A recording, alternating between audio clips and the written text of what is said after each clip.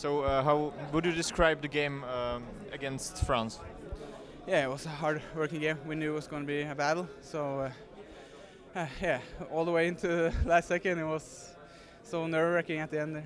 Yeah, of course, they get a little bit more energy by playing home, and we knew knew that's going to be hard. And we, we were maybe a little bit nervous in the first 10 minutes, and then, but I think we were playing better and better as the game went on. It was a real nice pass from Mathis, and uh, I knew when he went behind the net that he was trying to look for passing back. So I just tried to make it open and yeah, try to shoot as quick as possible. Yeah, of course. Uh, it's so important to yeah start a victory because it's so tight group and uh, like uh, so every point is matters so much. So yeah, of course we're really happy with the win. No, this is more tough and more hard. I would say it's more tighter and they have a lot of good players. So yeah, it was a hard game.